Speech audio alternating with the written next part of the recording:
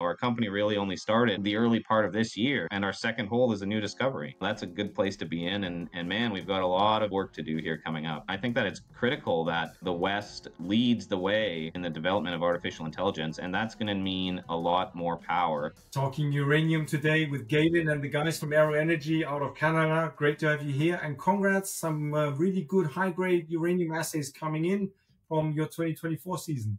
Thanks, Arne. Good to be back on the show and, and to talk to you again.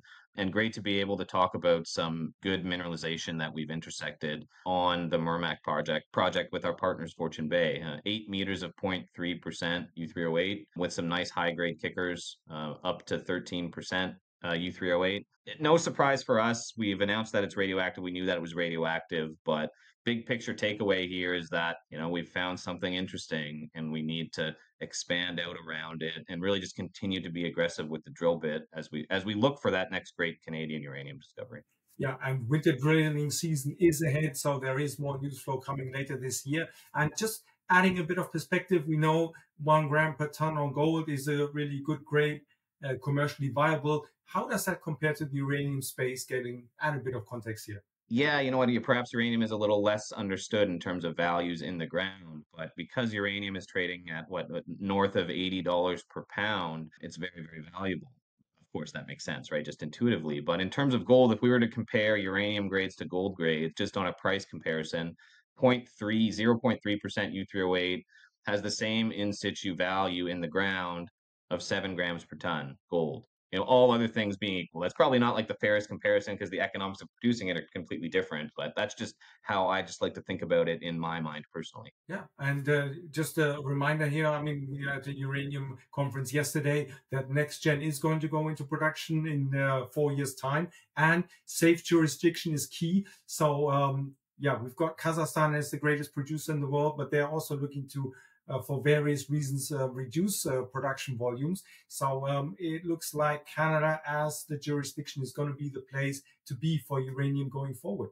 Absolutely right. Like this safe jurisdiction, first world jurisdictions, Western jurisdictions, there's just this emerging theme of getting our critical and very important metals from places like Canada, you know, places like the United States that has become very important in the last, say, few years as conflicts have emerged in, in Europe and now in the Middle East, I think it's it's very domestic source of sources of supply of these metals are really really important for us as a society. So you know, me personally, you know, we're we're working in Saskatchewan and is a is a great jurisdiction to be with great history of uranium production, and that's not going to stop anytime soon. So yeah, happy to be there.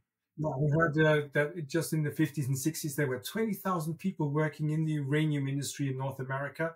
So um, we'll see. And looking at the prices, I mean, currently uh, uranium trading at $83 per pound, so pretty solid. And we've had some huge gains from the lows uh, of 2015. But if we look back to 2007, $140, we're nowhere close an all-time high on uranium. That's right. Re- really nowhere close. From my perspective, you know, I, I'd like to see some sustained interest in the markets, which you know, I think uh, things are looking back up again for uranium stocks and exploration plays like ours. We've obviously seen sentiment change since the early part of this year, but of course, like it turned off quickly. It's when it turns on, oftentimes it turns on just as quickly. So, I mean, for me personally, I'd like to be as positioned as possible. Uh, and I think I am. I hope I am. Things are going to come back when they do, they're, they're going to come back fast. Yeah, absolutely. I mean, if we look at uh, the yearly gains, uh, the statistics you normally make your annual gains on 10 days of trading. So very risky to stand on the sidelines. And we've just seen the volume on Aero Energy pick up tenfold in the last three days.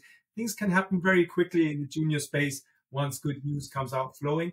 And talking of news, just adding a bit of context, we just talked about the nuclear uranium price here. The number of nuclear reactors, I mean, there are, of course, always uh, different ways of looking at things, but just seeing the statistic here from the International uh, Atomic Energy Association, the number of reactors and the number of reactors planned and under construction, with of course China leading the way, the demand for uranium is going to only go up because there is going to be more plants going live on the grid. Yeah, absolutely. And we've been, you know, between us and everyone we know, all of our friends, we've been talking about this for years. But I think the really, for me, what's helping put things into perspective is the power needs that are going to be required as AI gets developed. And I think that it's critical that the West leads the way uh, in the development of artificial intelligence. And that's going to mean a lot more power. And again, it comes back to the fact that we want to be getting our uranium from quote unquote good places, from the best jurisdictions. So, you know, I just see the future for